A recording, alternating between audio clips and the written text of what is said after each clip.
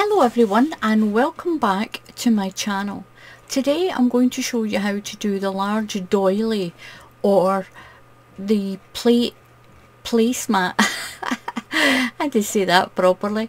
The placemat setting for a plate to go with the previous video I did on the cup coasters.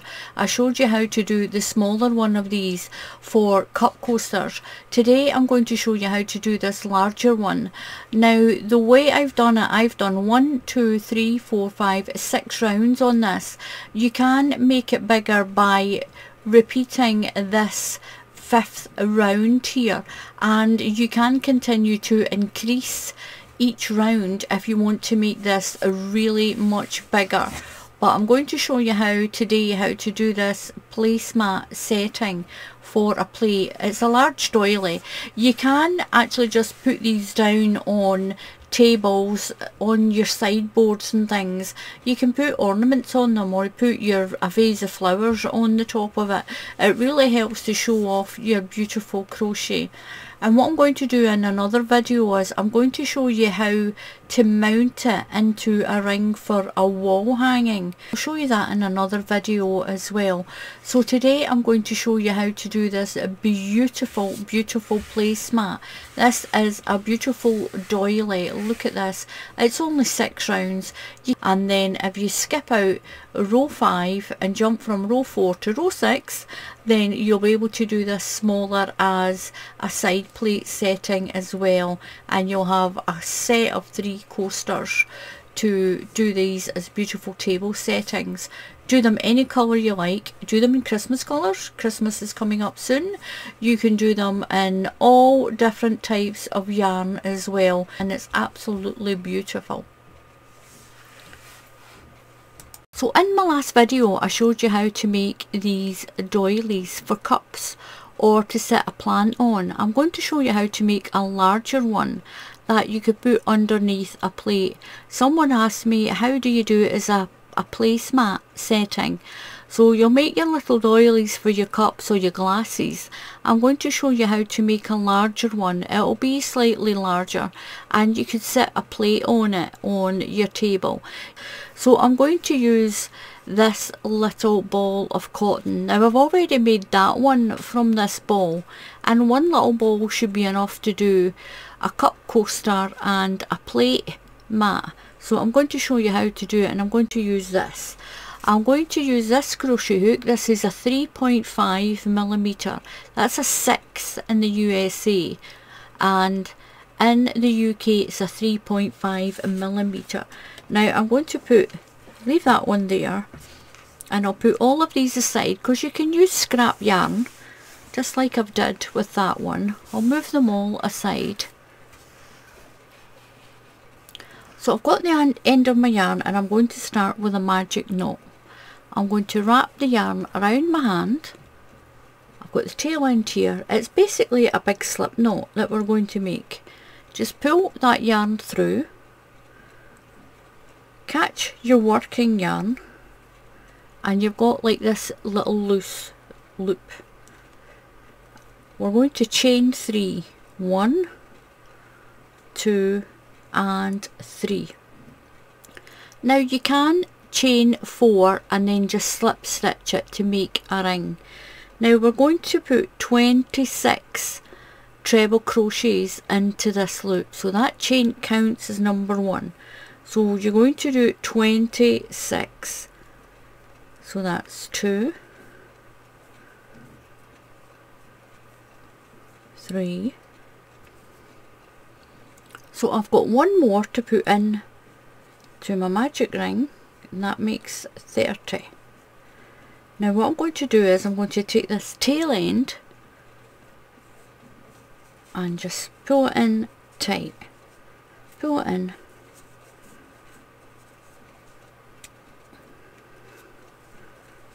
So that pulls it in. You won't get it in as tight as your little cup one because the cup one only has 20. So I'm going to slip stitch into the top of that chain of three to close that round. So that's my first round done. I'm going to chain three one two three now we're going to make these little clusters we're going to make these little clusters around your little circle. You should have 15. You should end up with 15 of these little clusters. So that treble crochet counts as your first stitch. You're going to yarn over and go in to the next stitch and do a treble crochet. So keep that loop there. You're going to yarn over and come through that loop. So now you're going to chain two, one and two. Into the next stitch you're going to do your treble crochet. Keep the stitch on your hook. Then do a treble crochet into the next stitch. So you've now got three loops on your hook and you've got your little cluster there. Yarn over and come through those three loops and that makes a little cluster. Going to chain two and do the same with the next two stitches. So do a treble crochet, keep the stitch on your hook, yarn over and do the next one. You've got three loops on your hook, pull through those three loops and chain two, one, two and do the same to the next two stitches. So treble crochet, keep it on your hook, into the next stitch, do a treble crochet, yarn over and pull through, then chain two. You're going to do that all the way along and you should end up with 15 of these clusters. That's one, into the next stitch, join them together. Chain two. Into the next stitch. So I'm just going to finish my last cluster. I'm going to chain two. One two. Get some more yarn out of this little ball so I've done my chain two. So I'm this chain of three that we started with count one two three stitches. And we're going to slip stitch in to there. And you've got this lovely little wheel. That's round two done. What we're going to do now is we're going to slip stitch. Pull your stitch up and we're going to slip stitch over into that space. You're going to chain three. One two three and we're going to do double clusters into each of these spaces. Here you've only got one cluster. Now we're going to do a double V cluster. That counts as your first treble crochet. So yarn over and go into that space and pull through. You're going to pull through those two, chain two, so we've got our chain stitch on the hook. We're going to yarn over and go back into that space and do a treble crochet. Now keep the stitch on your hook. Yarn over and do another treble crochet keep the stitch on there yarn over and pull through those three loops you're going to chain one and move to the next space and do that double cluster. Here we only done one cluster in these spaces we're going to do two. So we've done our chain one. So into here do a treble crochet keep it on the hook. Into the chain space. So we've got three loops on the hook, yarn over and pull through, chain two. And do another cluster. Got three loops, yarn over and pull through those three. Chain one to move over to the next space.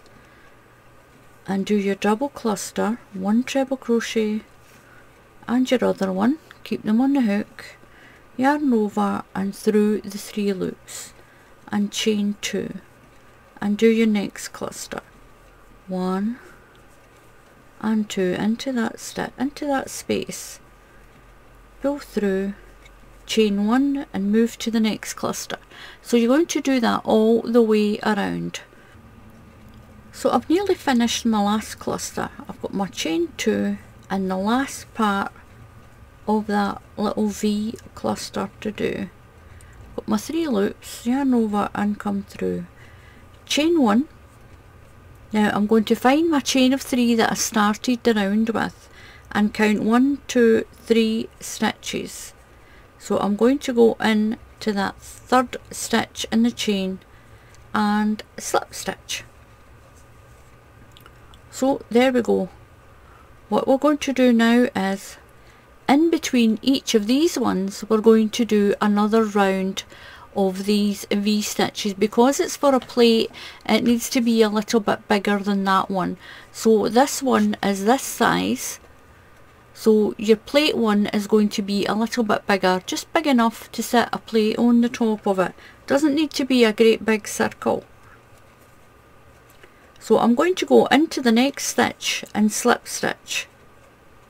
It's a little further over and into here pull my stitch up so that you can get over there without making it too tight and I'm going to go into there so I'm in between my V-stitch clusters I'm going to chain three, one, two, three, and I'm going to do this round again. Repeat this round.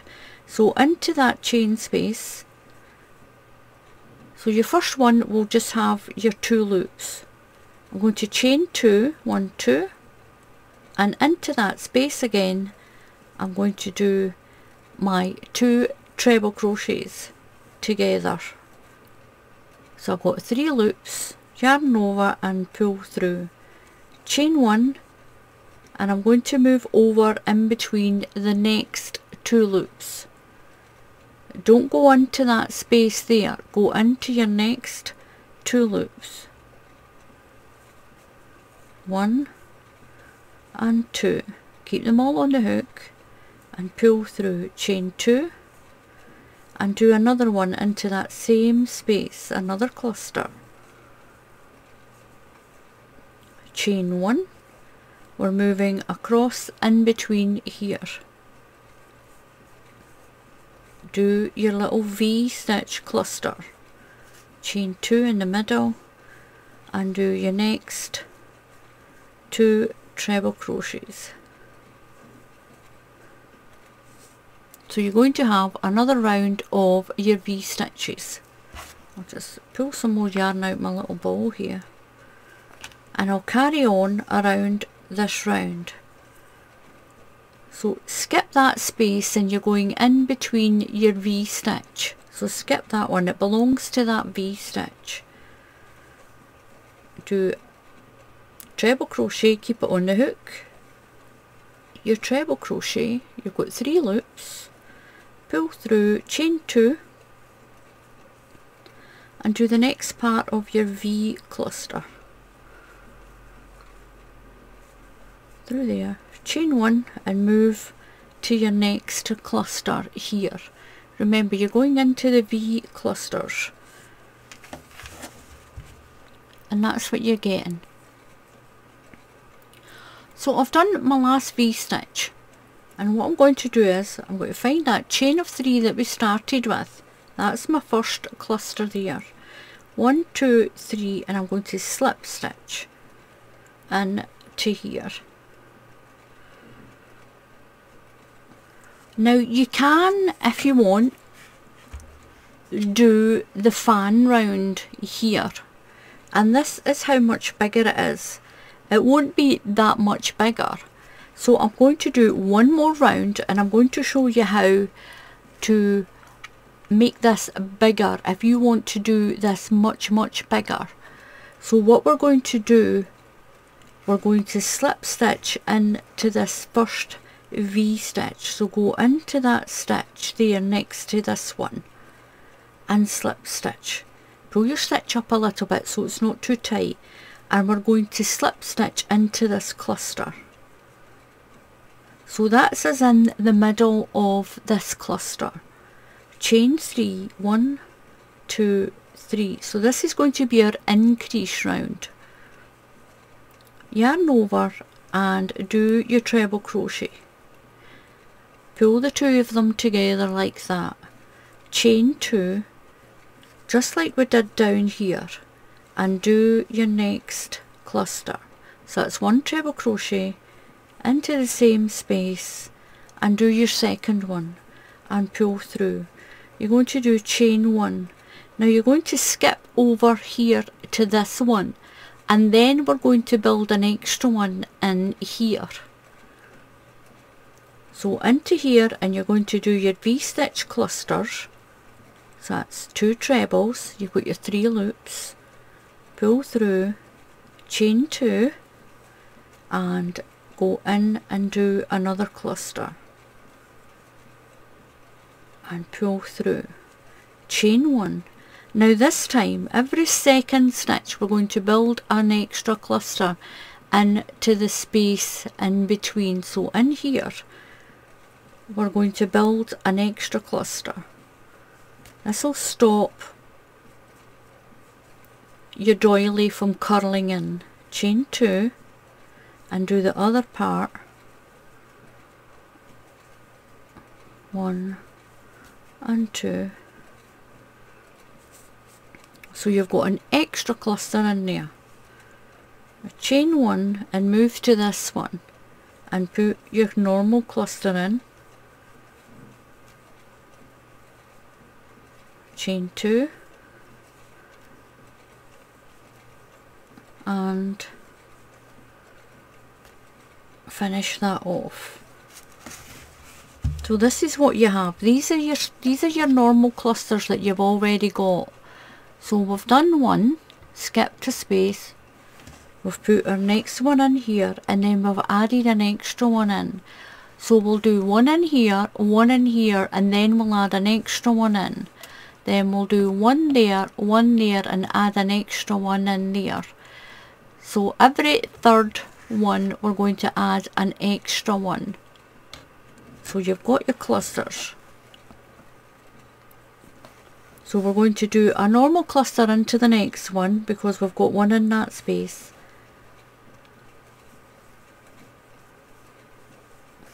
And this is how you extend it. This is how you increase.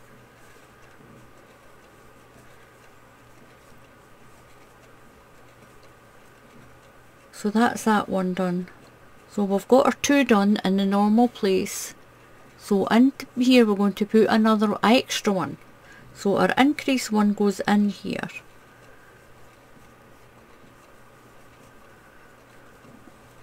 do my two chain and my two trebles together. To chain one and go into the next space. So we'll put one in this space skip that space and put one in there. Then we'll put one in there do that one skip that space and do that one. So it's every third set of clusters or in between every second set. So we're adding one here. We'll put one there one there and we'll add an extra one in there.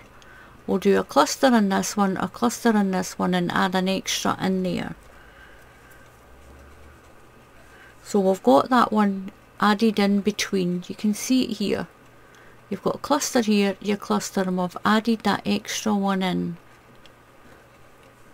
so we'll do this cluster and this cluster as normal.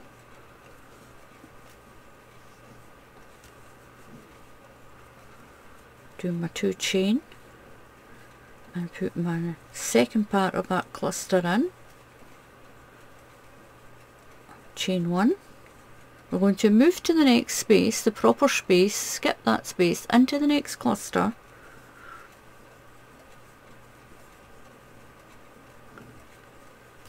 chain two to your cluster.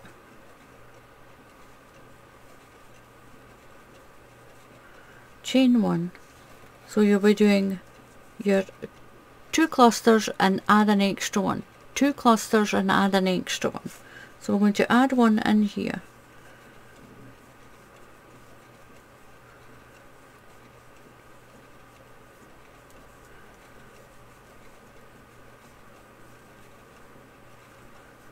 chain one move to the next two so it's a cluster in here and a cluster in here and then we'll add one in between. Cluster, cluster and add one in there. Cluster, cluster and then add one. And what that's doing is it's making your doily bigger. So I'm all the way around. Now what I had to do was, what I had to do, when I done two and added one, I did two, added one into the space, then I did two clusters, added an extra one into these the space in between. So you can see here what I've done. I've done a cluster, a cluster, then I added an extra one in between. A cluster, a cluster, then added an extra one into that space. Cluster, a cluster, then added one, a cluster and a cluster, add one, cluster and a cluster. So what I've had to do here was, I've had to add an extra one here just to keep myself with my three clusters together. So don't worry if you're having to add an extra cluster in because we did only have 15 clusters. So don't worry about it. I've added an extra one in here and I'm going to slip stitch to the top of that chain of three. If you don't add that extra one in there, we do have sort of like four together here, one here, one here, one there and one there. It's just to keep it in the round. So don't worry, you won't even notice. And there you go, that is that next round. Now the last round we're going to do this round. Now if you don't want to do that increase round, you'll just skip to this round here. So what we're going to do is right into where we were we're going to do a double crochet just go right into that space and do a double crochet now in here between these two clusters we're going to build a fan that's six UK treble crochets so that's one and two we're going in between the cluster three four, five and six. Into the next space you're going to do a double crochet. So in between this next cluster here you're going to build a fan. So you're doing six treble crochets. One, two, three. We throw that down here out of the way. Four, five, and six. Double crochet into the next space. Then you'll do a fan in between the next cluster. Double crochet into the next space, fan into the cluster, double crochet into the next space then do a fan into the cluster all the way around so I've gone all the way around with my fan and my double crochet so I'm going to find the double crochet that I started with and just slip stitch on to that I'm going to pull my stitch up and cut my yarn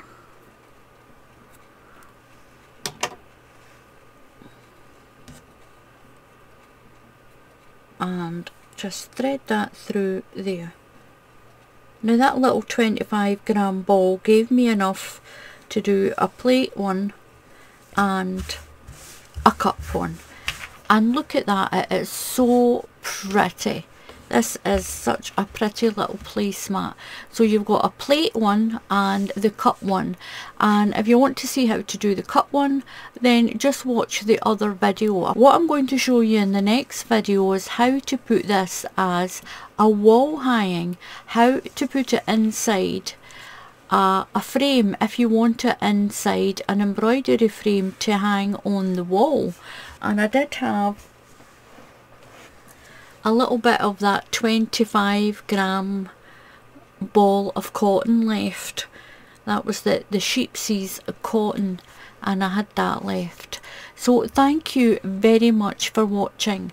Please subscribe to the channel and if you click on the bell icon YouTube will tell you when I put up another tutorial. So until the next time, happy crafting and I'll see you all again soon. Goodbye.